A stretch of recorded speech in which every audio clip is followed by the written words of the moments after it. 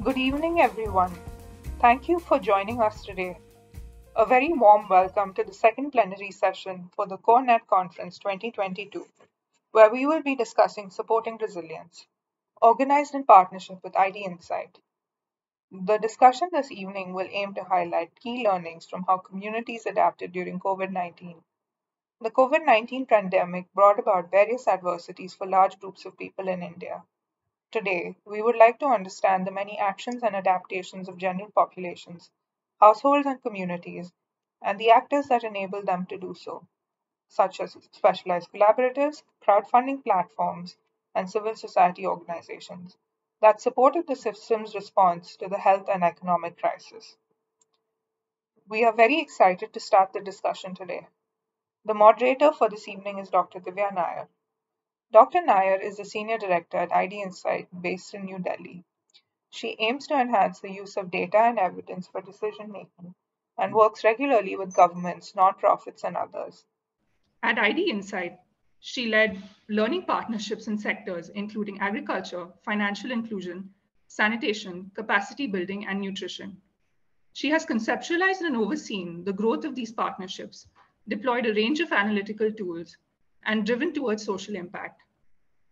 Dr. Nair is passionate about improving the lives of the poorest, particularly women and children. Joining Dr. Nair, we have three wonderful panelists for today.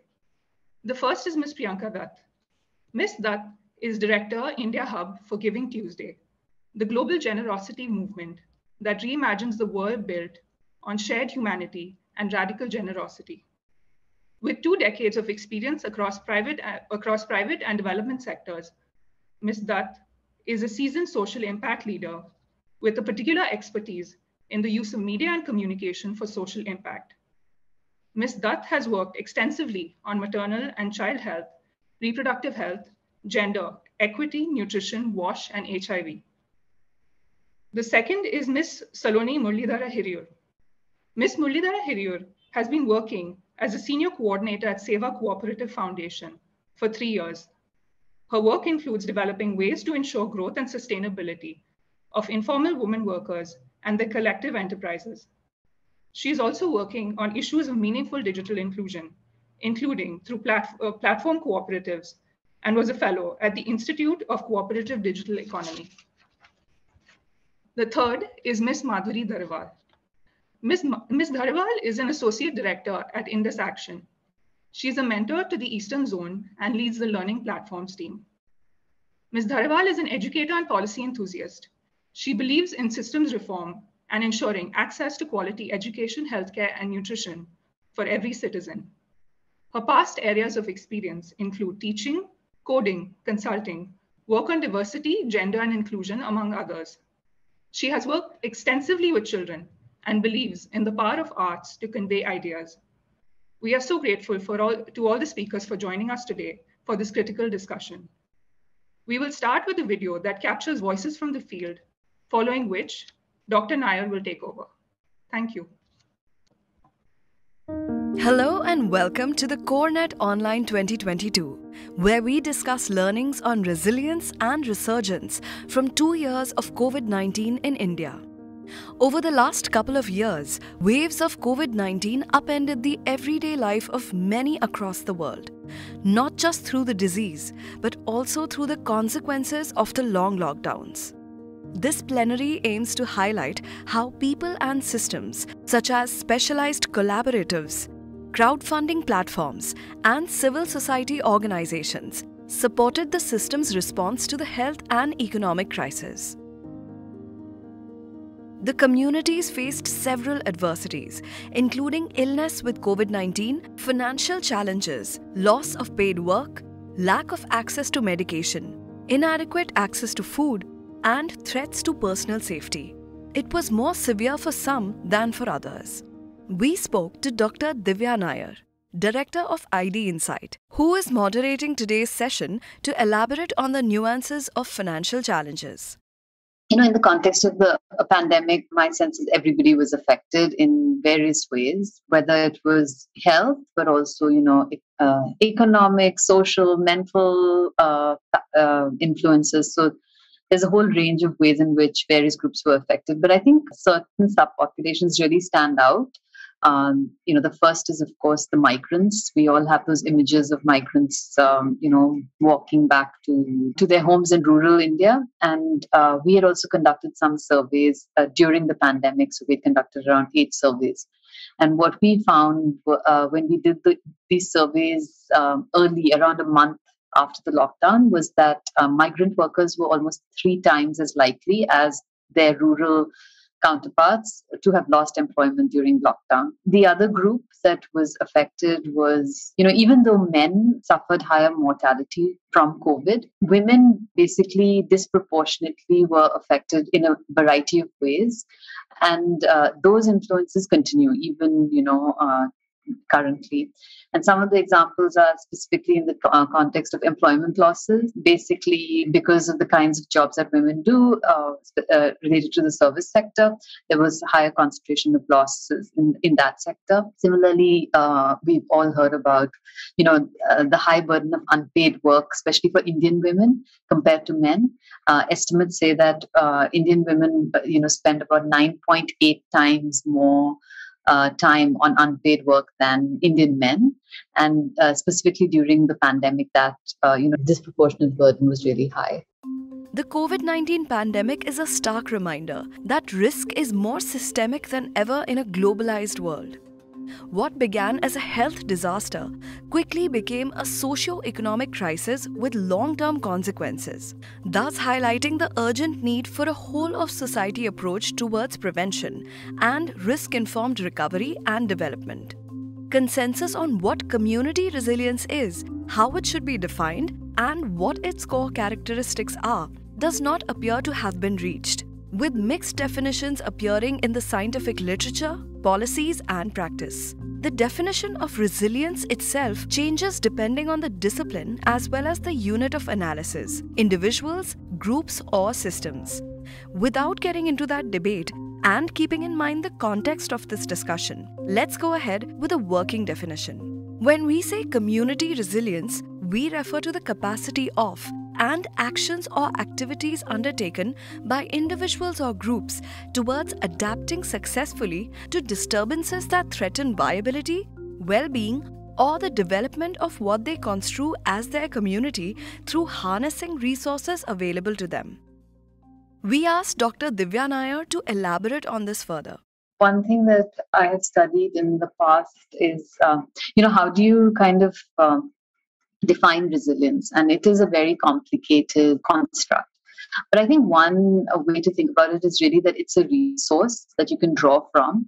And it is limited in many ways, right? It's not uh, it's not unlimited um, and so basically uh, you know if you already have those resources then it's much easier for you to be able to kind of bounce back um, and so, building, providing communities with those resources, uh, whether it is uh, social capital, for example, you know, in a, in a rural context, or whether it is information about where to where they can get the resources that they need uh, in terms of their, you know, the, the services that are being provided uh, naturally or on the fly. So, the, so they're the informational kind of pieces, and then they're the financial pieces. So there's the social, there's the informational, the financial uh, pieces that are really important for communities to be able to uh, draw from each other, but also to be able to kind of uh, survive and thrive going forward. And uh, you know the the the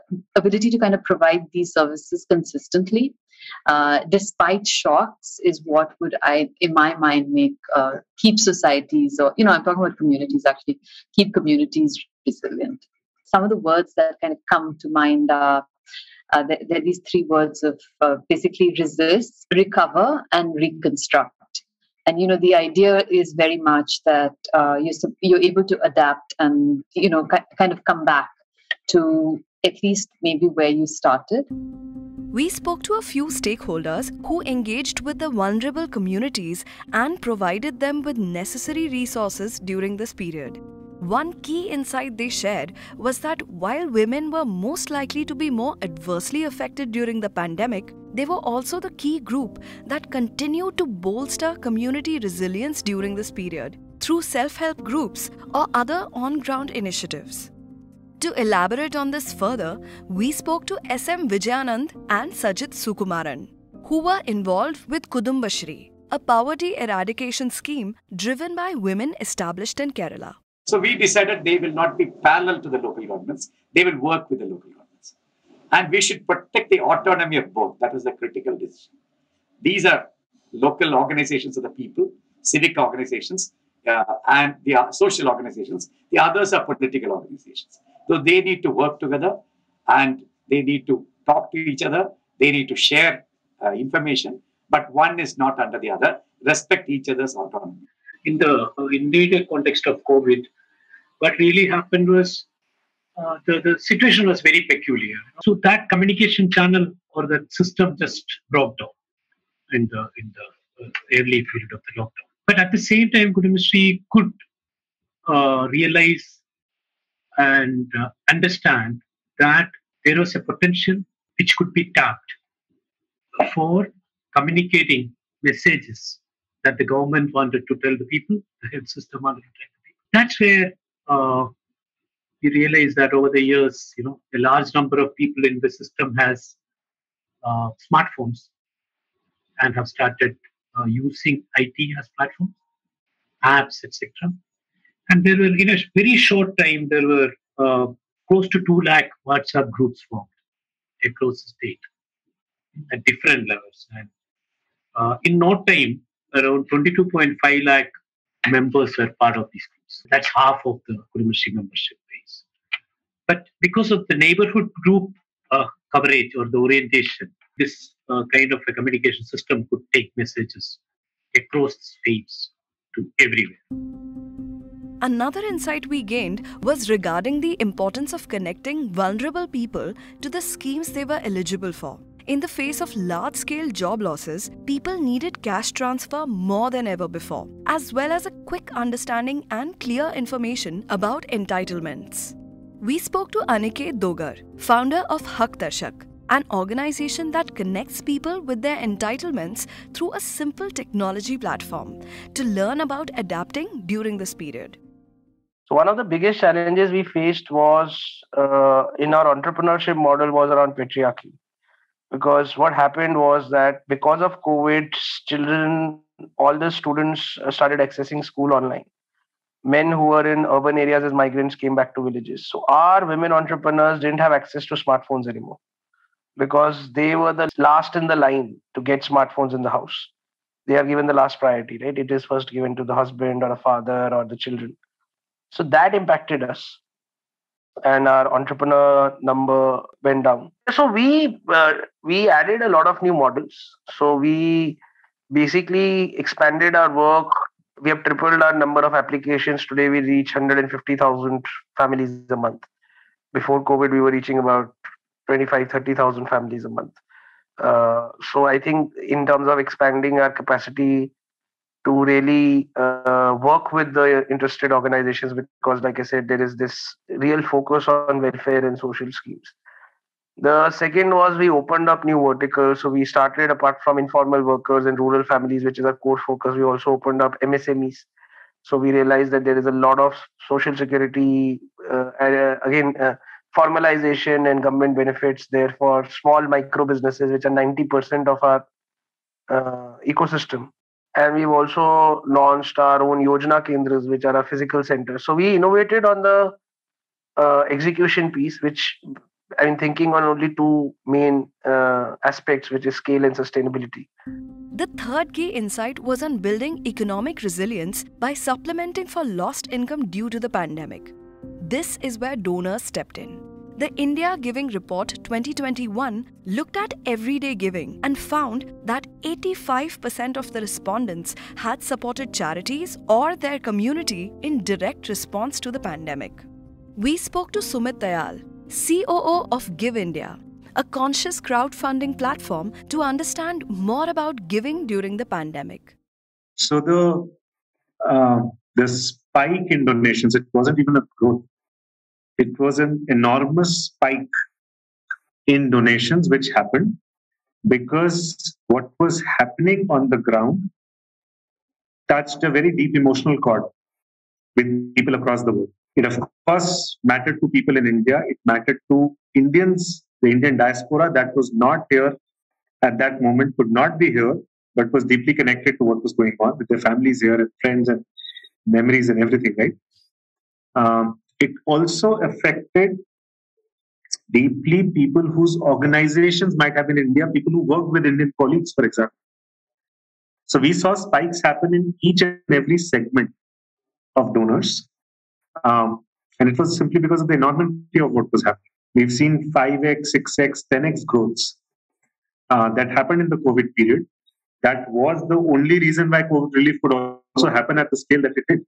Because all of it, especially the second wave, the first wave, if the focus was the migrant crisis, the intervention for a lot of uh, NGOs was meals, right? People did not have food. Uh, in the second wave, it was oxygen equipment. If you look at the cost per beneficiary of the two, oxygen equipment is drastically higher as compared to means, right? Uh, the money that you need for that is drastically higher than what it would be in the first wave. And the only reason that happened was because donations went through a massive spike. So GiveIndia was running a cash relief program through the second wave. We were essentially giving a grant of 30,000 rupees to a family that had lost any member of the family due to COVID. And what is the situation in that family? That person who's no more could have been the breadwinner of the family, could have been a member of the family supporting the family in many different ways. And when a sudden loss in the middle of a crisis happens, you need the ability to get back on your feet. This is not sustenance for life. This isn't livelihoods. This isn't long term systemic change. Meant for a family that has been hit very hard in the worst possible environment, needing some immediate assistance to get back on their feet from where they will find the way on what to next. In the pre pandemic world, we saw established processes that had been built over time to support vulnerable populations and enable financial, social, and informational support systems. However, with the disruption of these processes and increasing vulnerabilities during the pandemic, communities, organizations, and processes needed to adapt quickly in order to respond to existing and new requirements. So, what should the future of resilience look like? It really needs systemic uh, system building and system building. Uh, what I like about you know the panel that we are, uh, we are putting together is that you know there's the government that has a responsibility to provide uh, you know a range of public services to its citizens, but uh, along with that, you know, citizens also uh, really kind of are able to step in to at least connect to the state, but in some cases also kind of replace where the state is not able to provide services. And so, in terms of the long term, is you know, of course, one is just increasing the pie and ensuring that like basic uh, services are available for um, for citizens. But apart from that, is improving the efficiency of that, you know, uh, via a variety of ways. Uh, I think is what will really kind of help long term, you know, welfare, I guess, which is the outcome that we're uh, trying to optimize for.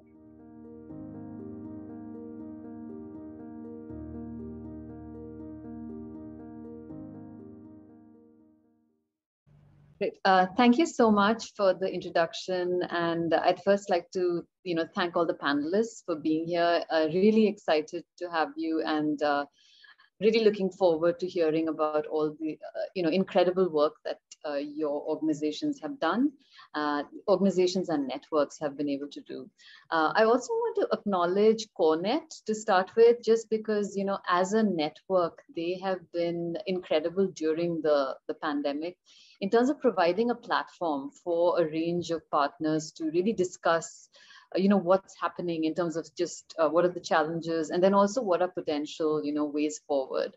And uh, you know for uh, some of you who might not have been part of some of those discussions during the height of the pandemic it was this very energizing space uh, that used to come together with you know a hundred plus people talking about you know what's happening across the country. And that's the kind of energy that you know it was just a small kind of uh, uh, uh, example, but that was the kind of energy that you know happened during the pandemic. And uh, even you know, th- there's the saying that adversity is the mother of invention, and I think that's kind of the focus of this uh, this panel is you know understanding that there were massive challenges, unprecedented really, um, and you know what happened. How did uh, civil society and uh, networks kind of step in to to improve the situation and to really kind of um, um, help each other. And so uh, I'll start with, without much ado, um, uh, I think my first question I'd like to address to Salonie and Madhuri um, on, you know, what were some of the vulnerabilities that you, um, you know, kind of saw in the work that you were doing and how did you address them? Uh, this kind of gives also the uh, the listeners a sense of you know what, what your organizations were focused on early during the pandemic. So over to you. Madhuri maybe first? Sure. Thank you. Um, hi everyone. Um, the topic that we're talking of, I mean, resilience in communities, I think just one thing that I'd like to highlight before I answer your question is that uh, when we mention community, I think what I'll be talking of is also multiple stakeholders. One is the vulnerable citizen that we're all here to serve, right? So citizens and their families that we're trying to serve, but also other civil society organizations, NGOs, for-profit bodies, and the government as well, because uh, we exist in an ecosystem where resilience can't be built in isolation. And so when I mention uh, community, I think I'll be speaking of this entire larger ecosystem. Uh, when we, uh, I think when the pandemic hit, it took all of us by surprise. And uh, some of these specific vulnerabilities that we saw, and I'll just list them out because there were just so many, and I'll uh, touch upon a couple of them with examples. Uh, so we saw income, as was mentioned already earlier, so some I won't uh, elaborate on, but income and job loss was something that we saw playing out quite a lot, and how that was, and I'll just also provide an example of how you know uh, groups came together to support. So one example of that was that uh, governments provided aid to labor. So Delhi, Haryana, among multiple other governments, provided 5,000 rupees as supplemental uh, income to labor because they weren't able to work during the months of the lockdown. Uh, when we talk of education is sort of the second vulnerability where everything shifted online, right, for everyone. And uh, anecdotally, we know that students' learning levels have really fallen drastically. There are multiple initiatives that governments took and private institutions as well. So there were mohalla classrooms, mobile teachers, uh, there were parents and communities that came together to teach in their own localities the challenge with this one is that there isn't very clear M&E yet to showcase or to tell us, you know, how those uh, pieces fared. There is in bits and parts, but not as a very clear uh, whole. The gender gap, things that you already mentioned earlier, the of domestic violence, the amount of housework that increased for women, girls dropping out more out of school. And there are organizations like uh, Educate Girls and Tap India really working on this uh, dropout issue of girls particularly, and that has been great. So that was another issue. The digital divide never been clearer. Accessing, you know, be it accessing education, online working, access to welfare and social security schemes, all of these have kind of suffered. And that's something that we work on at Indus Action, ensuring that there's access to social uh, welfare schemes.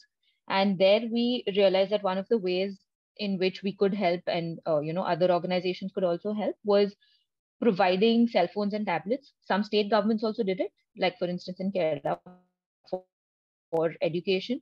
And then there were other civil society organizations that fundraised uh, to get tablets and cell phones and other devices to students. Uh, the other ways were just doing telephonic surveys to help people enroll for these schemes. So there were surveys done, data collected about okay, how many people have not been able to enroll into like, uh, a particular welfare scheme and then helping them get their documents together and enroll as the lockdowns lifted gradually uh, was some of that. And another group that we saw really facing vulnerability was people with special needs. Now, uh, and I'll give an example of this. We were working and we were working across multiple networks throughout, you know, both the waves, all the third one as well, partially. But uh, during the first wave, we realized that in Delhi there was this group that got in touch with us, and they were working with children, with girls particularly, uh, all of whom were on wheelchairs. And now they had needed access to menstrual health care and a gynac, uh, a gynac essentially, but they weren't able to get it for about a month. So the person who got in touch with us got in touch with us after a month, and uh, the girls were facing a lot of issues. The main challenge with them was that since they were all on wheelchairs, there was no uh, one vehicle that could accommodate them and their wheelchair and take them to the hospital and all of them all together. And so then we contacted the delhi government who then sent ambulances to them. So they sent about 10 12 ambulances which could fit in uh, the girls with their wheelchairs and you know people in uh, to support them. And then that got sorted. So again we're seeing sometimes it was individual action sometimes uh, a group network ecosystem coming together but yeah, these were a lot. And I think the migrant labor uh, sort of mobility issue of the first wave, I won't highlight more than we've what we've spoken about already. Maybe I can take it up directly. Uh, first, thank you so much, CoreNet, for having me here. Um, and to the panelists, I'm really excited also to listen and apart from just speaking. Uh, I'll give you a bit of context to what I do so that you know where I'm coming from when I speak. Uh, I represent the Self-Employed Women's Association, SEWA's Cooperative Federation, uh, and we work with uh, collective enterprises owned, managed, governed by informal women workers. Uh, and these are across sectors. So we work in agriculture, handicraft, service sector, uh, laborers, etc. So wherever, whenever I speak, I'm speaking of these women. Now coming to the question, uh, we know this. We know COVID, the pandemic was a triple crisis. It was a health crisis, it was an economic crisis, it was a care crisis. And we were all affected, but those affected the most were those at the base of the pyramid. And these were the workers that the SEWA Cooperative Federation works with, informal women workers. Um, there was a loss of lives, there was a loss of livelihoods, there was hunger, there wasn't access to information. This was particularly a, a vulnerability that was, that was exacerbated. They didn't know what COVID was. They didn't know what to do, how to detect it. Uh, so these were some of the individual level uh, vulnerabilities we saw, and I won't go too much because the video so nicely put together everything. Uh, but one of the studies we did in the first wave from the Federation uh, on, on informal workers, we found that 74% of the women we spoke to uh, had food insecurity issues. They were going hungry. And there was a 65% reduction in household income. And this was a massive loss when you have a loss, when you have nothing at all, to lose even a little bit is, is magnified to a very high level um, at the cooperative level, at the collective enterprise level, because that's where we work, we saw there were various disruptions in the supply chain. Women uh, traditionally don't have access to markets as much as other communities do. Um, and this was exacerbated. Uh, and so they were selling at very low rates to middle agents and not getting money when they already were losing money. Uh, the service sector, as Divya said in the video, was completely stagnated, right? There was no way that domestic workers were going to be uh, going to work. We saw raw material prices go up. We saw transportation costs go up. Uh, but coming to the happy part, in the face of all of this, we saw communities adapt. Uh, we saw women adapt particularly and lead this adaptation in their communities. So in the agriculture sector, for example, where there was, you know, uh, they didn't have any money because they couldn't sell their harvest. They didn't have money to purchase seeds for the next harvest season, which, uh, you know, threatened their continuation of livelihood. So uh, one of our cooperatives called Megha Mandli, which is a cooperative of a thousand indigenous women farmers in the south of Gujarat, they put together seed capital. So they were giving small money to farmers in communities to buy seed, and they were also enabling access to the seed. So they were the disruption wasn't there then of the of the agriculture cycle. Uh, in the health sector, our health cooperative started producing sanitizers uh, so that women had access to livelihoods. They were making the sanitizers and they had access to income because they were getting profits from selling the sanitizer. Our handicraft sector workers, our artisans, they began making masks. Um, in, our, in our domestic uh, work sector, SEWA Home Care, which is one of our cooperatives, uh, they negotiated with employers to give at least some money to the women uh, so that they were able to run their households. And in, in a lot of cases, the employers did give money, but in cases where employers didn't, the cooperative actually dipped into its own savings, small savings, but ensured that women had some money coming into their household, 5,000 rupees, just so they could buy basic provisions. Our insurance cooperative actually developed a COVID insurance product uh, and started uh, linking women to this, women who were in the front line, women, informal women workers generally across communities. And the last thing I want to say here is that this resilience uh, wasn't just limited to the women or their households, or not just even their cooperatives or collective enterprises, but the effects of this were spread in their entire community. Uh, and we saw that shown through, or that came through in, in the COVID-19 pandemic, the crisis that it was. Fantastic. Thank you both. Uh, turning to Priyanka, Priyanka, uh, it would be great to kind of uh, hear a little bit about Giving Tuesday, you know, the, the initiative itself. Um, and you also mentioned that uh, you've done a research study on mutual aid in India, so it would be great to get insights on both. Over to you. Thanks, Divya. And it's just fascinating to, to have watched the video and then to have heard both Madhuri and Salonie speak because that's really what we've found with uh, the work that we've been doing. You know, we've all seen how traditional systems were completely overwhelmed, they were unprepared. And it was those mutual aid networks that were able to respond really nimbly. And they responded to feed, to clothe, to house, to educate, and to soothe fellow humans. And I think it's these movements that are organized, structured, human led efforts that care and connect uh, to communities and that prevent suffering and bring healing and help with them that really are um, you know it's a it's a collective and abundance mindset that's rooted in a sense of mutuality of reciprocity of radical trust. And what we've been able to do is i think what's what what's been surfaced for everybody through the pandemic is that this ecosystem that exists has always existed has just been brought much more to the front has it's become much more apparent for people because we've been in crisis. What we've done at giving tuesday is so giving tuesday in general uh, recognizes how crucial it is to capture and measure and amplify the whole generosity ecosystem. Um, and this requires sort of looking beyond monetary transactions and exploring the many and different ways that people give back to their communities around the world so what is Giving Tuesday? I can hear a lot of people asking. I asked the same question before I joined them. It is the global generosity movement that unleashes the power of people and organizations to transform their communities in the world. It was established in 2012 as a very simple idea. It's a day that encourages people to do good. It's grown since then into this global movement that inspires hundreds of millions of people every year to give, to collaborate, and to celebrate generosity the year round. So the movement is brought to life through a distributed network of entrepreneurial leaders. These are leaders who lead national movements in 80 countries, and they lead hundreds of community movements worldwide.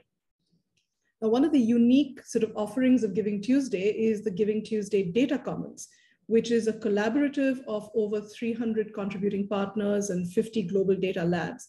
And the Data Commons is fundamentally the leading collaboration on giving and generosity.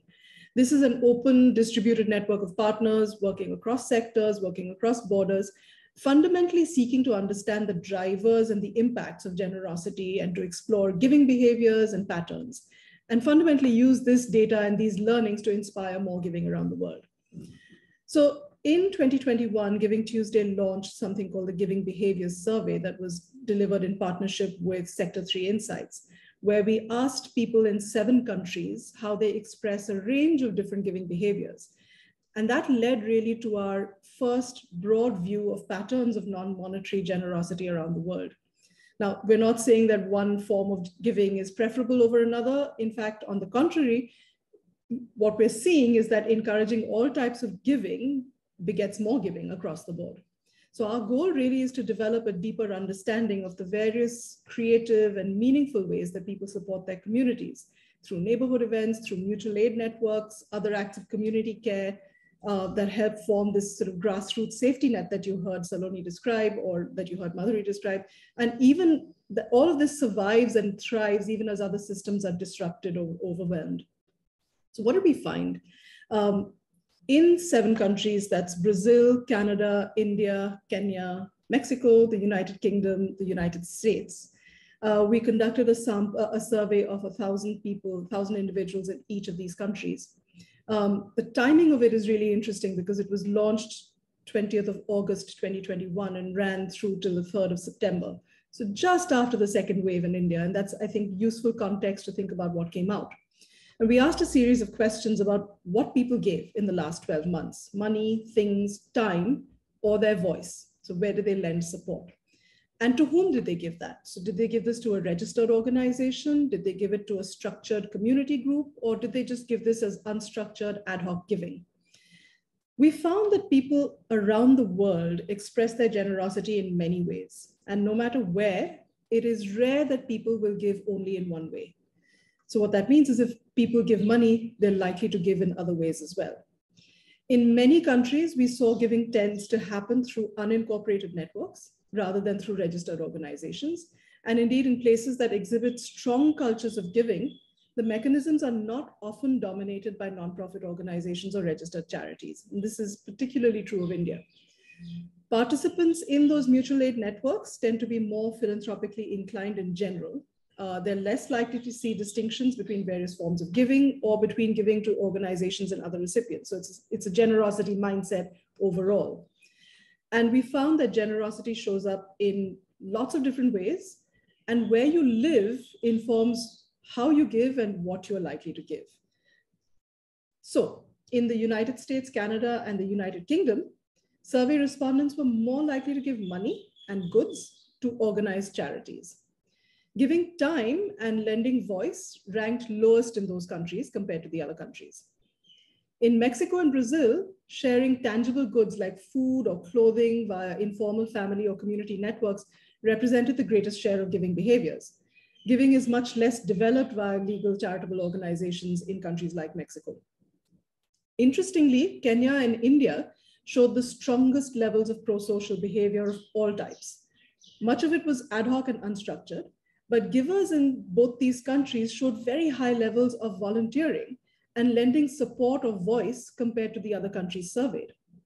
Indian respondents in particular demonstrated a great deal of pro-social behavior with a hybrid of traditional structured giving to charities and additional giving of items or things to individuals and neighbors. So really giving in all its forms. And the level of unstructured giving of things was much higher in, in, in India than it was in the USA, in Canada, or in the UK, which struck me as really interesting. Uh, volunteering and lending voice for causes were relatively lower in India than giving money or things, but it was still significantly higher than in the US, UK, and Canada. So what we took away from this, and this is a baseline, it's a one-time snapshot. We're hoping to get more data over time about these same indicators so we can see what's happening with giving behaviors. But what we took away from this was that individual giving is far more nuanced and diverse than just giving money to charities. Um, and in some cultures, obviously, giving goods, giving time is more valued than in others. Uh, but in all countries, it's absolutely rare that people do only one type of giving. Um, and it's really interesting, I think, to think about what that means when, it think, when we think about community resilience and how generosity plays into building resilience over time. Great, really interesting. Thanks. Um, yeah, I, it'll be great to hear also from Madhuri and Salonie on, um, you know, what their experience has been in terms of communities and networks, um, in terms of how that they have helped in terms of build resilience. Um, also curious to, you know, think about, you know, who gets left out from these uh, net networks and community kind of efforts. Uh, because, you know, when you talk about social capital, for example, there is the the downside of it is that social capital often, you know, you're kind of um, of, uh, often working with the same kind of, you know, people within your community. How much is there of giving outside your community? Uh, and one more kind of layer to that is how did your uh, networks and communities um, work with government? And specifically, if you have good examples on that, it'd be great to hear. Thank you. Uh, this time, let's start with Salonie. Uh, thank you for that question, Divya. So um, there was a crucial role that support systems, networks, movements, uh, particularly like where uh, I work, SEWA Cooperative Federation played at this time, uh, which was, you know, mentioned in the video, bringing the means to these communities to become resilient, right? And of course, the first thing was relief. Um, relief resources, masks, sanitizers, soaps, food. Uh, this was distributed, but what I'd particularly like to highlight was that because of the decentralized model that we follow, uh, which is through communities, through women leaders, the distribution of these resources wasn't just quick, but it also reached those who needed it the most. And so this sort of answers your question about who gets left behind, right? The women were deciding that those with, say, disabilities, like Madhuri had mentioned, they get the resources first, or those who've lost all income, they get the resources first. Uh, and so this model allowed for that. Uh, and really relief was the first thing we reached. And here to answer your next question was that uh, SEWA Cooperative Federation and SEWA in general doesn't work to replicate what the government is doing. There is a very clear role that the state plays, must play, and we're here to sort of fill in the gaps or play a supportive role uh, in therein. So that was the model that we follow. And this was also something that uh, Mr. Vijayanand said in the Kudumbashree part of the video, was that we work very closely in tandem with the government to uh, link and act as bridges between those who needed the resources and the state, which had the resources. The second thing which was important, which this, uh, the movements played was bridging the um, access gap, uh, bringing information on COVID care and protection, detection, particularly mental health and psychosocial care, which was, you know, not ignored, but less talked about during this time, but equally crucial. We also uh, uh, did a lot of work through telemedicine and creating referrals for people who needed hospital beds. Because you and I could go on Twitter or, you know, and ask for oxygen. And, but the women we work with, they, they didn't have means, uh, they didn't have the ways to do this. So creating those bridges was something that networks really did.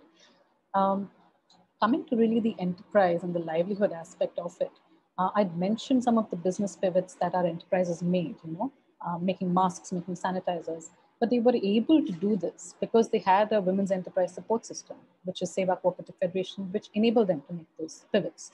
So when they needed uh, money to buy material for mask production, we were able to invest in these enterprises, get them working capital, uh, get them capacity and training so that they could learn how to make these masks. And also, and I will come to that a bit later, digital literacy, which was really the need of the hour at this time. Um, we also tried to find new markets, digital markets, which these small cooperatives, small collectives don't, don't have the resources to do on their own. So the Federation played this bridge. Um, and these inputs and the support enabled, uh, like I said earlier, enabled these small enterprises to have the means to be resilient. Now stop there. Thanks, Salonie. Uh, I think a lot of the things that you've said already, you know, in terms of how um, we can, like how resilience needed to be built. I think I echo a lot of what you've shared. And uh, in the work that we started doing during uh, the first wave of the pandemic, we were, as a lot of other organizations, a little clueless, including the government, right? We were all scrambling to understand what is the pandemic, what do we sort of, how do we react to this? and we realized that our first steps the best steps could be to reach out to the families who we already were in touch with so uh, Indus Action works on legislated rights and getting access to them for vulnerable citizens and so we had been working in the areas of right to education and right to food and uh, those were sort of the ones also that get left behind right the mothers uh, pregnant mothers children who are just newly born in need of immunization uh, those were groups we realized were being left behind. Education was something that was not at all a priority. And uh, so, definitely something that was totally left on the side of the table. And in a way, understandably so, because at that moment it wasn't the most, uh, like, it wasn't first priority. So, there we realized that for building resilience, if we had to do it in the short run, there are you know immediate steps that can be taken just to ensure that we survive or we get out of um, that current situation that we're in but if we want to ensure that it is there or resilience is built in for the longer run within these vulnerable groups then the community needs to be made aware of what their rights are uh, who do they go to when they're in trouble what are grievance redressal mechanisms built in for them so there are CM helplines working in, say, a state like MP. West Bengal has something called Didi Ke Bolo. Do people know of these? Are they able to access them at all? Uh, there are Gram Sabhas, Gram Panchayats that have certain uh, norms for grievance redressal. For even information around COVID, you know, uh, there was there were plans made to decentralize all of this information sharing, but obviously the frontline workers had so much uh, load on them that it didn't quite play out the way it was planned either. So the first thing that we realized in resilience, and if it has to be made long term, is that the there needs to be both a demand and a supply side pressure. Right. So the community needs to be able to ask uh, for what is rightfully theirs, and the government is it is their duty to be providing, irrespective, right? Even if the community asks or doesn't, it is their duty to be providing welfare in how they need to. So uh, networks and movements there we saw in the first wave. I think we we worked with uh, RSS workers, with Congress, Youth Congress, with uh, groups from the Sikh uh, groups serving langar and other food uh, and ration things. We worked with IPS officers across, I think, different states. There were multiple instances where um, there were both civil society organizations and then individuals in the government, but acting more as individuals that came forward. So in the first wave, we saw a lot of that, that the entire uh, yeah, the civil society organization was the stronger network in that first wave, I think, that came together really cohesively to showcase that, okay, yeah, we're here, we can support whatever is required. And in the second wave, then we realized that uh, the government, in some ways, at least for what they didn't repeat what were issues in the first wave. There were newer ones that came up in the second wave, I think. But the first wave, uh, the challenges that we saw, at least a lot of those, they had plans to mitigate them. And uh, we work at Indus Action a lot with state governments and with the union government in terms of uh, enhancing capacity for welfare delivery. And uh, two examples that I gave of you know things that were helpful. Uh, so during the first wave and partly in the second wave, we weren't able to be on the ground all the time, right? Uh, so because of lockdowns, etc. So in Chhattisgarh, we worked with the labor and the Panchayati Raj departments.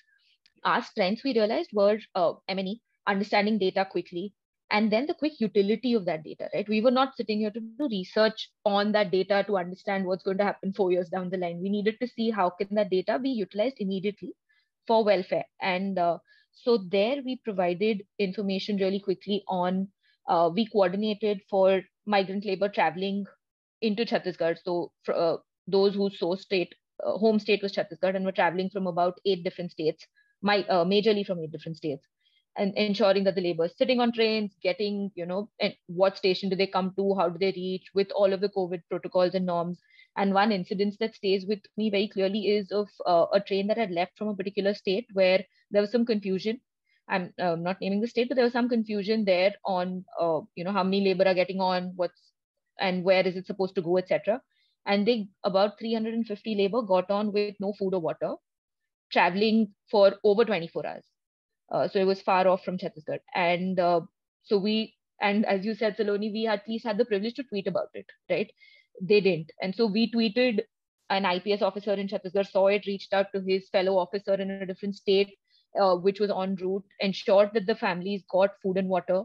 After, I think, over 12 hours, they got food and water. And uh, that was, so I mean, in a way, you know, networks and movements Twitter, I think, was one of the best things that happened at that point where everyone was reaching out and everyone was helping so that's one example and then another example that i give is um, when in delhi we conducted a quick m&e study to just understand with the mothers that we were working with were they getting access to panjiri and moongfali so these are nutritious supplements given to pregnant mothers and just uh, lactating mothers as well pregnant women.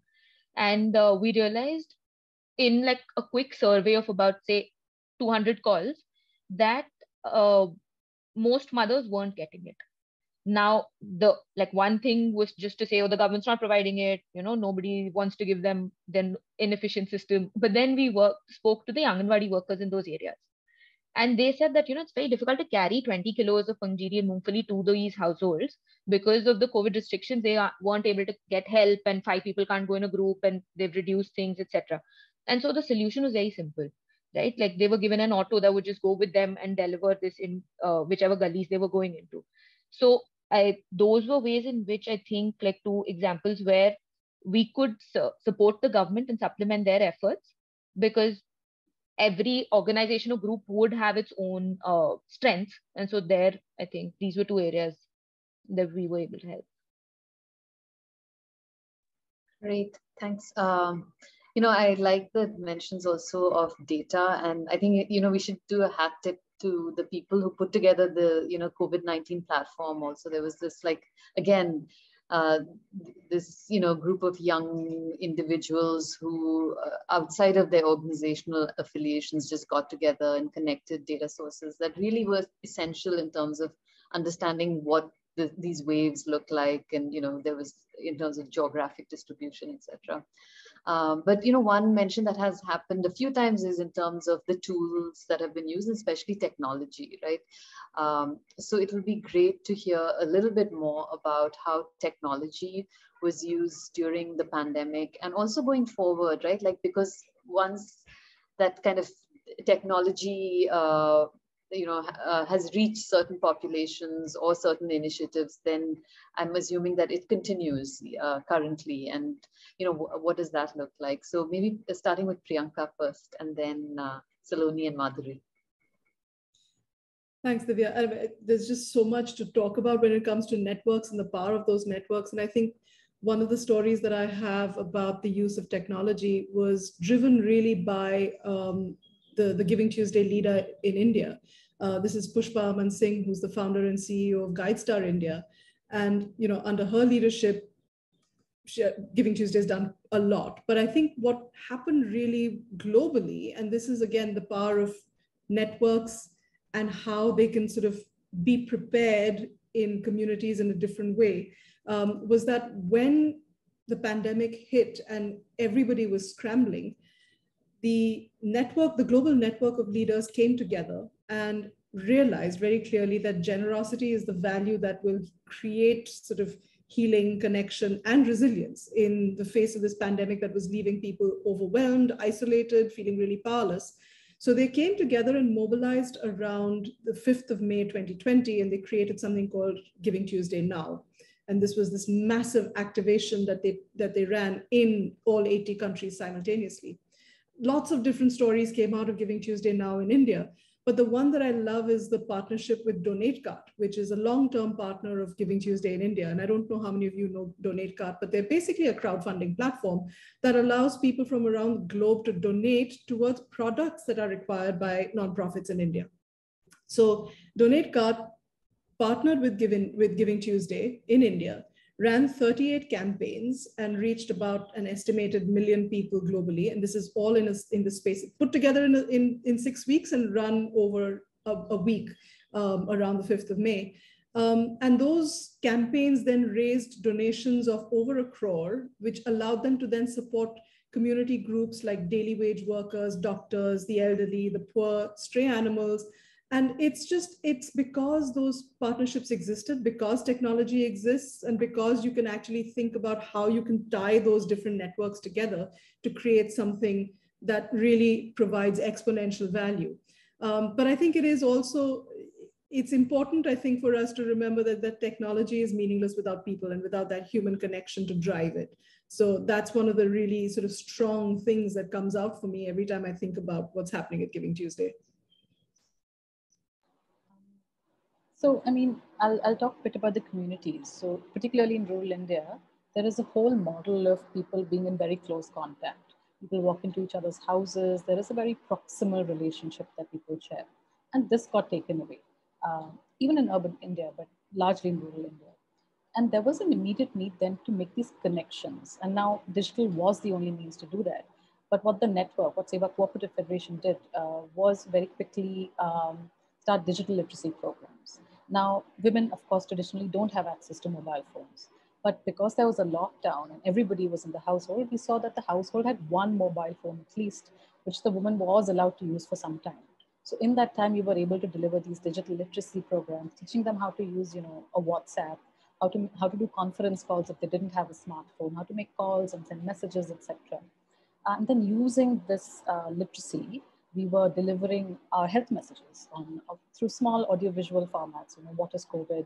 What, how do you wear a mask properly, etc., etc.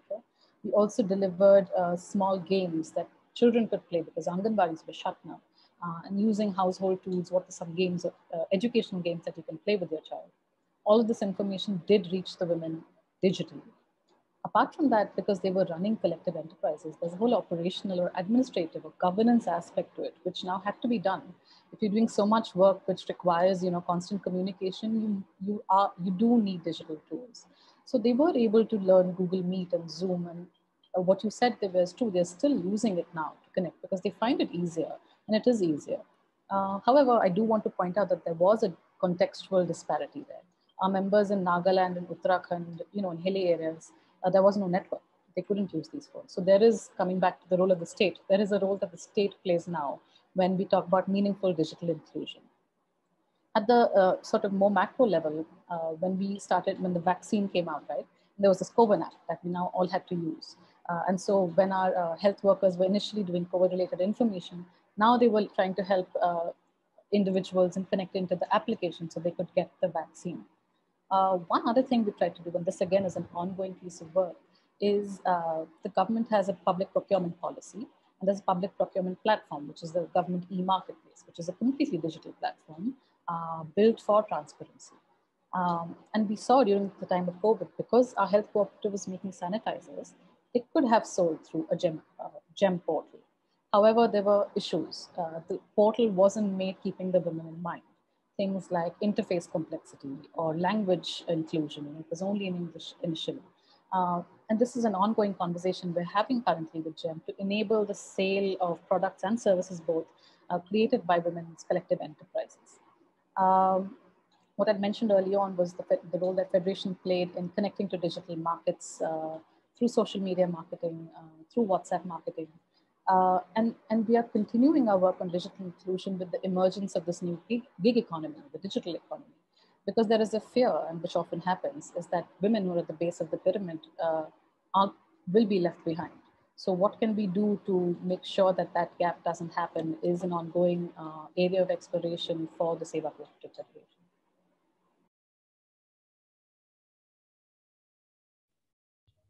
Um, so I think the digital interventions in multiple ways. I mean, in terms of uh, gaps, I think all of us are aware, right? Education, welfare provision, financial literacy and banking, and the gender gap. And those were four uh, that Priyanka and Salonie also touched upon. And uh, what I specifically, you know, highlight is that when we looked at education, there is there were portals, there were uh, multiple initiatives that were created to bridge this digital divide.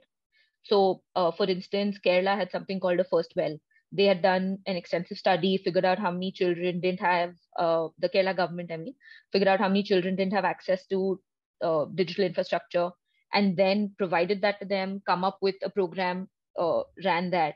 Chhattisgarh had something called Padhai Tu Har which means uh, education at your doorstep. And they started something called Bultoo Ke Bol, which is they just play on words on Bluetooth. And so essentially saying areas which don't have network uh, how can they get access to the material that's being provided? And so that then was taken uh, you know downloaded in areas where there was network and then uh, given to other teachers using bluetooth devices etc so multiple states and i think almost all state governments have come up with some initiative or the other. Union government had the vidya portal where they tried to put in material and uh, you know but i think where the challenge came in was that this divide is still very extreme, right? Uh, children who are able to access, despite all the material being provided, is very limited. Uh, is learning happening after that or not was still a big question mark and something that we're yet to answer. But at least these initiatives were taken, uh, and by the government, by the communities as well. And that's something I'd mentioned earlier of you know how parents and communities were coming together to do that. The second thing that we realized with welfare provision um, and the digital divide because as what Salonie was saying right now, right? Multiple interface, like just looking at that 22 page form that you need to fill out for a maternity benefit, uh, which will give you 5,000 rupees in three tranches. I wouldn't want to fill that out ever. And so I don't think a pregnant mother who doesn't know how to read, doesn't know what documents she has, would ever want to do any of that. And so there were certain areas where online registration for schemes was started making it easier like that's something that i saw uh, coming was that governments also realizing really that they could not continue with this system of uh, having either such lengthy or incomprehensible sort of uh, you know online interfaces wherever there is online a lot of places are still offline but wherever it is online at least that this could not continue so that for instance for uh, Jan Dhan Yojana there were offline um, booths created, and Jandhan Yojana essentially gives about 500 rupees for every woman who has a, a Jandhan account.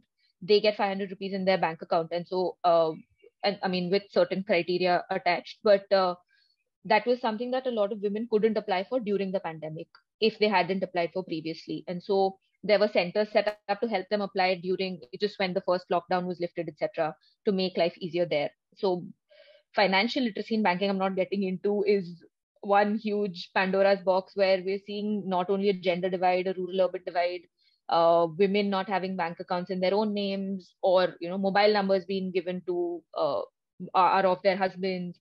The Jan Dhan Aadhaar mobile sort of linkage, that jam issue that came up was so these were some of I think other challenges with financial literacy in banking. Uh, there are organizations working towards that as well to make women more aware of uh, you know banking and financial literacy. And I think a couple of other things that we did, uh, particularly as Indus Action as well, was that we worked with labor departments in uh, three states where we tried creating you know shorter WhatsApp videos for access of entitlements that come under those departments.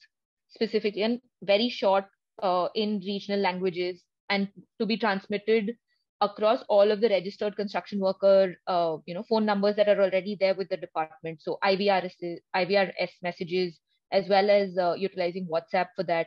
Uh, a lot of whatsapp chatbot work happened for digital intervention. So whatsapp chatbots became like a very very used tool i don't think uh, outreach wise it is you know reaching every reaching the last mile but at least 70% 75% of people it would reach. Like that last 25% i don't think we ended up reaching. Um, and along with that i think one group in terms of building this resilience is a lot of uh, the government shifting to online modes of working in certain areas which is pretty poor like in terms of their uh, online interfaces and working has not been too great and so them shifting to that was a very positive move because uh, you know interacting with a government officer over Zoom was something that we had not done earlier. And that was happening. And I think in building ecosystem resilience is something that's very crucial because that's also removing a barrier uh, of access for people. So I think, yeah, digital interventions, a lot of them that uh, push the community because I don't think there's any going back from this now. We're in a day and age right now where it digital and technology is the way forward. It's not the end it's a means to some end but uh, i don't think we can survive without it. And so very crucial that we look at all of the interventions that have happened and what can we learn from them? What are things that can be improved but you know not dismissing them either as things that didn't work uh, because there is a gap. Yeah so maybe you know i think i prefer us looking at an, a more balanced approach because from where we were in 2020 as digital india to where we are right now I think we made a giant leap. Um, yeah. Very interesting. Um, so, kind of, um, you know, it'll be great. You know, there have been so many interesting ideas and thoughts here. Um, and I feel like I've had my opportunity to ask questions, but I'll just let you all uh, put in, you know, some final thoughts in terms of uh, topics that you haven't touched on but uh, you know broadly it'll be good to hear about what you you think are the ways forward in terms of this topic of resilience also right? Like how does one uh, support community resilience? And um, specifically if it's possible to think of it from a systems perspective uh, but but yeah all of us i guess especially uh, Salonie and priyanka are part of these networks um, but yeah, uh, I will pass to Salonie this time and uh, Priyanka and Madhuri. And then uh, it would be great to get questions from the audience. So please do type in questions, but I think you can also unmute and ask questions after this round. So looking forward to those questions too. Uh, thank you, Divya. So I think the pandemic has brought with it a lot of lessons that we can carry forward, right? Like what Madhuri was saying, what you've been saying. And I think for SEWA Cooperative Federation, one of the most crucial ones has been uh, that our model of collectivization did hold up, was resilient. And so there is a need to organize smaller cooperatives, smaller collective enterprises, organize largely informal women workers into these collective entities.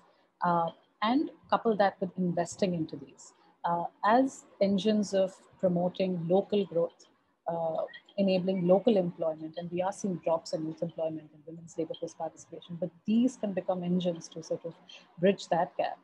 Uh, and therefore, we also need support for these networks that we've been talking about so much, because these networks act as support systems and uh, enable these small collectives to not operate in silos, but to actually talk to each other and to talk to the external world.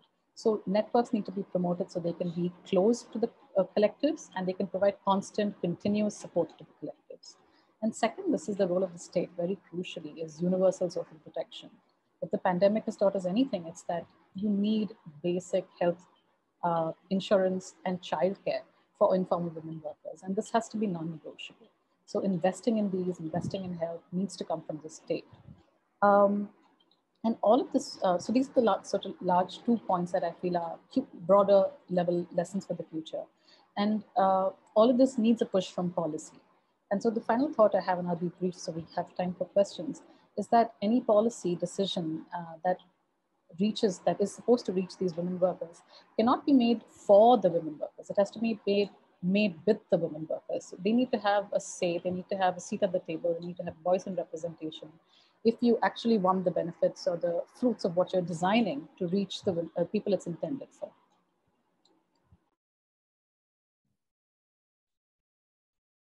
So let me jump in there and I say and, and say, Salonie, I completely agree with what you've said, uh, particularly with, you know, I think what all of us as citizens need to perhaps well expect and demand from um, you know governance systems. But I think where Giving Tuesdays focuses is something that I think speaks to me very personally as well, because it is really the power of human beings and, and, and the power that every single individual has. And it's about deconstructing that and sort of making it much more democratized. So it's not you know, it's not generosity if you have a million dollars to give. Everybody has the ability to be generous in their lives with whatever they have.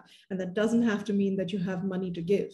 And I think it's that, that sense of generosity, that sense of seeing other human beings, of not being able to turn away from need. It's those sort of fundamental um, changes and shifts in human behavior that I think will help us kind of build this interconnected world. I mean we're already it's already an interconnected interdependent world. And i think it's it's really being able to leverage that to create this world that we have the opportunity to reimagine right now.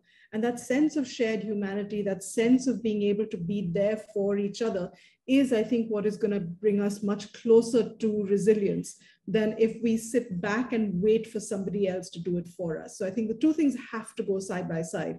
I think while there is a demand for systems to step up. I think there's equally a demand on ourselves and on fellow human beings to bring their best selves to life.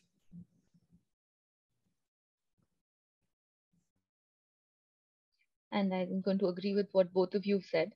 And uh, just in addition, I think the one of the biggest learnings that uh, we've had during the pandemic and the way forward is interdependency, right? We cannot work in silos.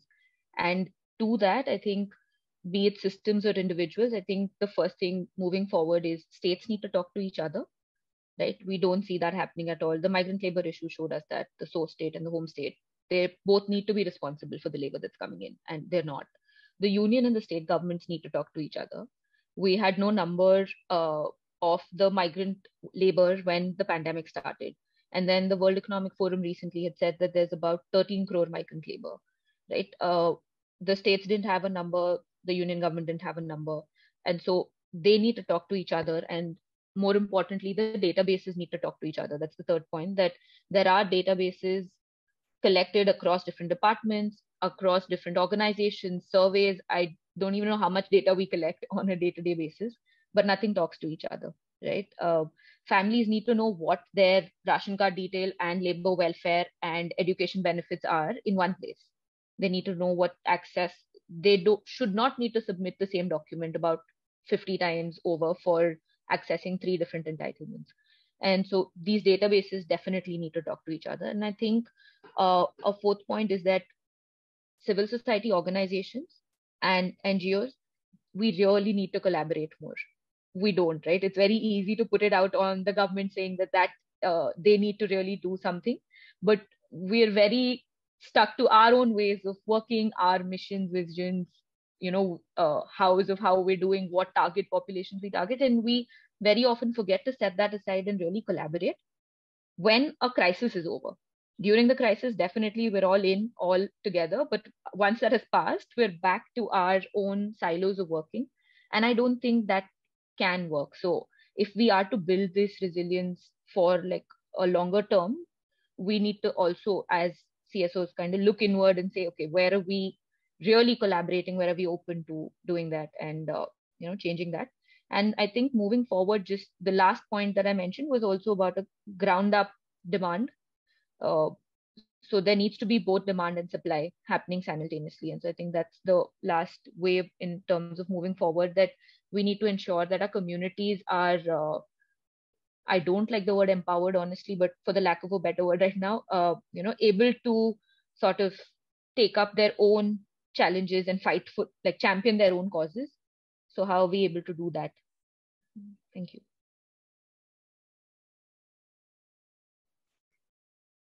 Great, thank you.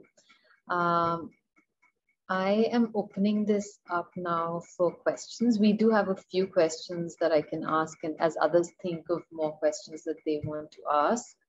Uh, one of the questions is uh, What are some of the on ground adaptations that agent networks have made in order to uh, connect to entitlements?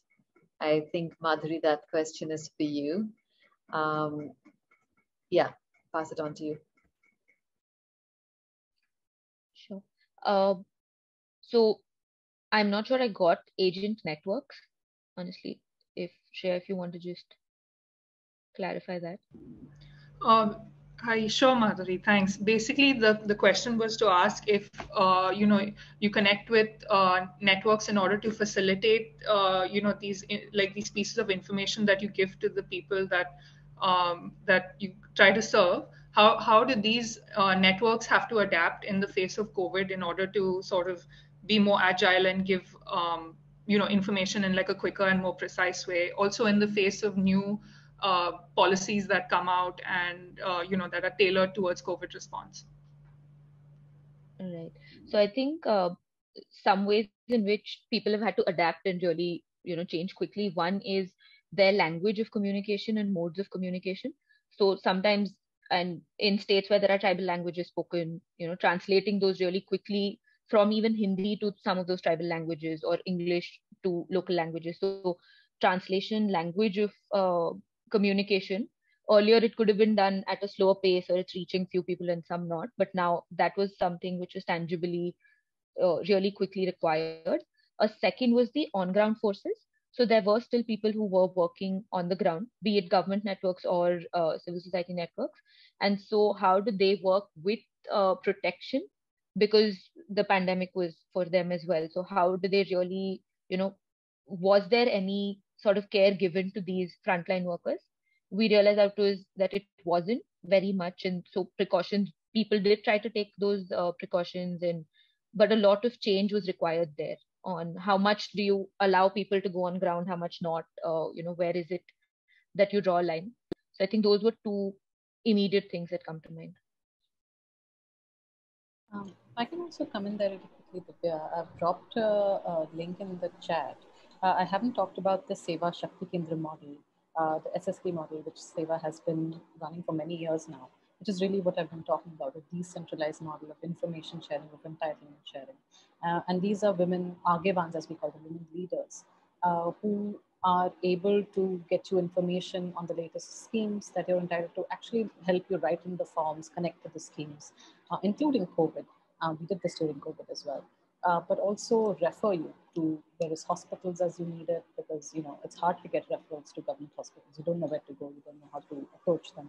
Um, and uh, I won't go more into that, but you can read this report in the SEWA Shakti Kendra model, which really is the on-ground, ongoing support, uh, linking people to entitlements. Um, does anybody want to kind of, uh, yeah, uh, we have one more question, but I'm just wondering if others want to unmute and ask. Is that possible, Shreya? I'm not sure. Mm, I'd, I'd ask Rohan to answer that question. I think that's possible. But um, yeah, please do jump in if you have more questions um, on any of these aspects that, you know, there's been so much covered.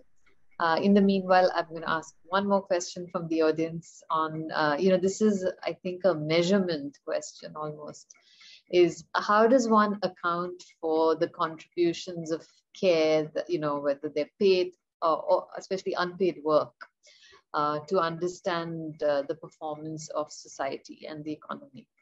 Uh, maybe to Salonie first. Um, also, I think Divya, maybe you should answer this also. You're Yeah. really well placed to answer this as well. Um, I think, I mean, that's a tough question, right? Um, because unpaid care work is really what's driving, uh, subsidizing uh, the value or the economy or the value of work in the economy. Uh, and so maybe there isn't much incentive for the state to recognize it, uh, if I can put it that bluntly. Um, the ICDS or the Anganwadi system has brought some measure of what does childcare, what value does childcare bring into the system.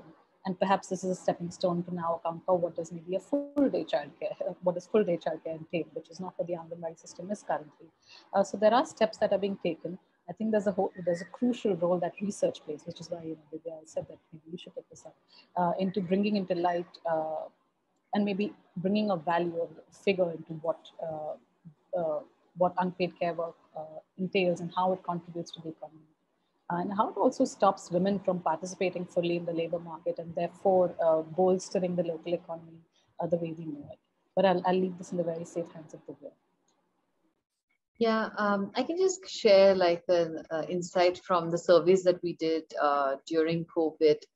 Um, and you know, basically, what one of the surveys that we did, we interviewed both the uh, the male and female head of the household with, within the same household.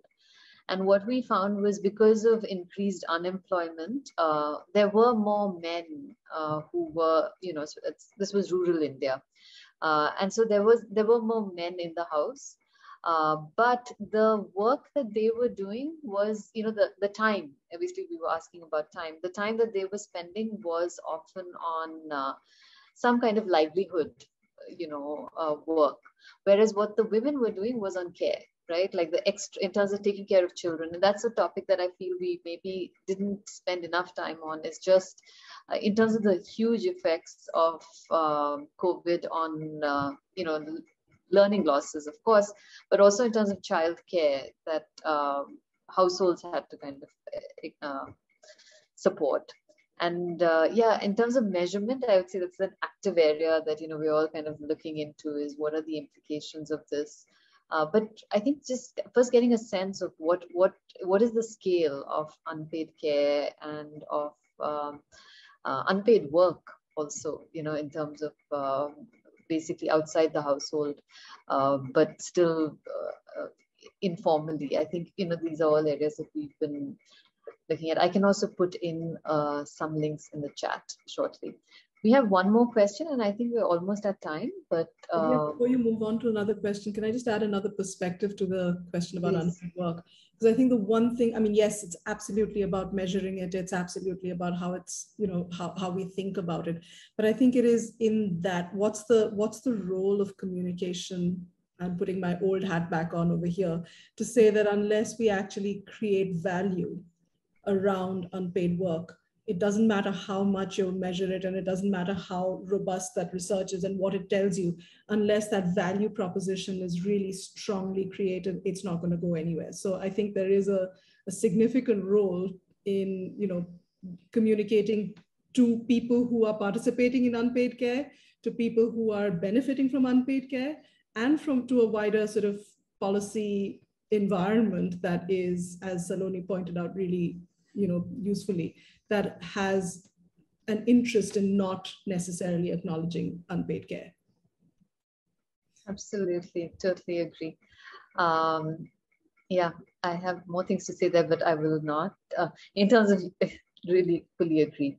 Uh, I think the last question, and this is a good, you know, question in terms of uh, ending, is uh, has the cri uh, crisis made it easier to talk about building resilience, um, and particularly, you know, in our own lives? And uh, basically, does this change our attitudes and behaviors uh, towards resilience?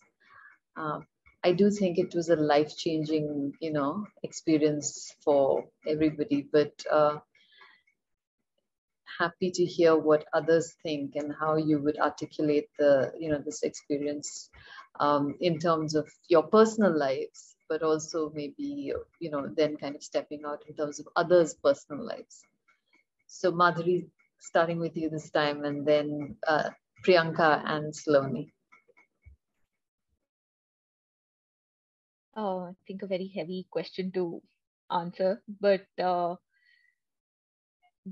I think uh, two ways in which, say, for me personally, and what I've seen play out in the ecosystem uh, where people's attitudes and behaviors have changed is one that, um, you know, every individual action counts. And uh, that's something that I've seen play out with myself. You know, if I was doing individual fundraising or reaching out to like a million networks to get access for different things. I saw it within my organization. I saw it within multiple other organizations and people I know. So I think that every individual action counts is something that uh, keeps playing over and over and has been like, yeah, that's something that really stood out for me and has uh, like that's changed a little for me in the way that I'm operating. And i think the second is something that i think i've been talking about this entire uh, one and a half hours now is uh, about collaboration. So i don't think that we can while every individual action counts i don't think we can do things just alone and by ourselves. That we need to support we need like we need support and we need to support both. Uh, people around us things that are happening that are going well things that are not going so well and uh, the fact that it's always easier to point fingers than to really do something about something. So that i feel has changed a lot because we felt that that helplessness that uh, comes with not being able to help people or you know not being able to get that hospital bed or uh, see a family member suffer and that i think is something that is uh, inherently shifted that for me that you know the system is what we're allowing it to be. Uh, we're part of that same system. It is our role and responsibility equally to be pushing where we need to uh, to ensure that it moves in a way that is uh, equitable for everybody. And yeah so i think those have been major shifts and changes in attitude and then that's leading to behavior change in the way that i'm operating as an individual eh, as uh, you know our organization is working in terms of collaborations or ecosystem thinking yeah So I think rather than talking about this particular crisis, I think it's really useful to think about, uh, and again, I'm, I'm going back to my old hat and looking at what we've learned over the years about how communities respond when it comes to resilience. And I think it's a universally acknowledged truth that when there is a crisis underway, then everybody is thinking about protection, right? You're always thinking about how do you how do you protect yourself? How do you protect what's closest to you, what you value the most, your family, your livelihood, your assets. That's what people are sort of focused on very much. And I think as the crisis becomes more normalized, as I think it has become for a lot of us now, you know, two years and counting, it's part of everyday life, you find yourself slipping with behaviors that you were very, very proactive about at the beginning. So how many of us are washing hands as compulsively as we used to at the beginning, right? So how many of us are wearing our masks regularly? I think it's there is something really important in that to think about how communication needs to adapt, how it needs to shift focus as you go through different phases of the pandemic. And it's not a one size fits all. So what you'd be communicating about in 2020 is going to be very different today. And I think in order to kind of really sort of create that stimulus to get people thinking about how do you strengthen what you have so that you have that bedrock of resilience needs to take people outside of the immediate crisis and start thinking much more into the future.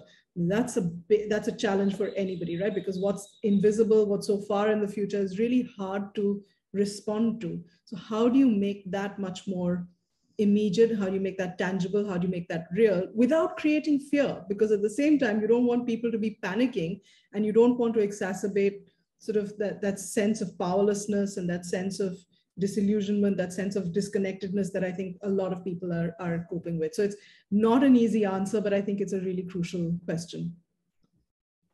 Um, I'll, I'll, maybe stick to answering the second part of the question, which is where are we seeing attitudes and behaviors changing? And, and I completely resonate with what, what Priyanka and Madhuri have said. Uh, I think with the communities, with the workers, the women that we work with, uh, there has been a more there has been an attitude now of safeguarding, like what Priyanka said, right? How do we protect ourselves? Because if there's another way, we don't know what to do. Where would we go? Uh, so that that uh, motivation to save, uh, to invest in care, to invest in healthcare insurance, uh, to really protect lives and livelihoods is stronger. And I'll give you two examples in the way we saw this.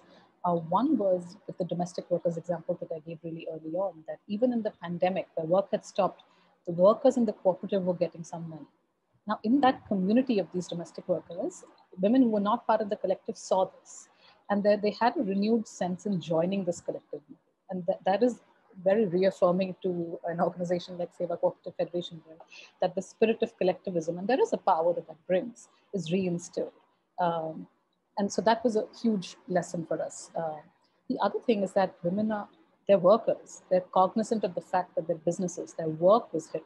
And so they're now already strategizing on how do we protect this. So a farmer I speak to, Lata Ben, she says, okay, I, I sell vegetables, I sell uh, crops.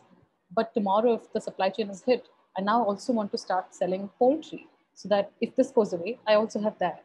So that that idea of how do I protect myself through my work is also something that is renewed, uh, that is reaffirmed. Uh, and therefore, our work as the cooperative federation becomes that much easier because there is a there is a willingness of women to you know collaborate, uh, communicate, to uh, collectivize, uh, and that spirit of collectives, that spirit of community, and the social and solidarity economy, which the ILO is now going to be talking about increasingly, uh, is reaffirmed.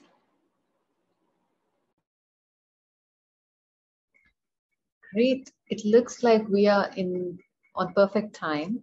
Um, I'm not going to summarize, but I will, you know, one key takeaway for me from this discussion is that um, you know, ma- many of us uh, as organizations and individuals and networks, basically in the face of the pandemic, really stepped up our game, right? It, we had to kind of go over and above and innovate and um, kind of uh, figure things out. And I think the question that, you know, seems to be emerging from this is how do you keep that high level of engagement?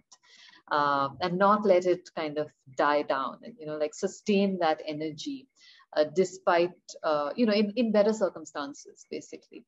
And what will it take to kind of continue that, uh, that, that inertia of momentum in a way, right? Um, and so it, has been fantastic to hear from all of you in terms of the, the like how you kicked off various um, you know initiatives and innovations and all of that. And uh, wish you all the best in terms of continuing. And uh, thank you so much for everybody's time especially also for the attendees. I, I, know that this is recorded and you know it'll be shared further. Uh, thanks in particular to shreya and rohan and the CoreNet team also. And uh, really appreciated uh, this discussion Thank you so much, Divya, and to all the panelists and the contributors to the video as well. Um, very, very glad to have you all here and had this was an extremely insightful discussion. So thank you all, and thank you to the attendees as well.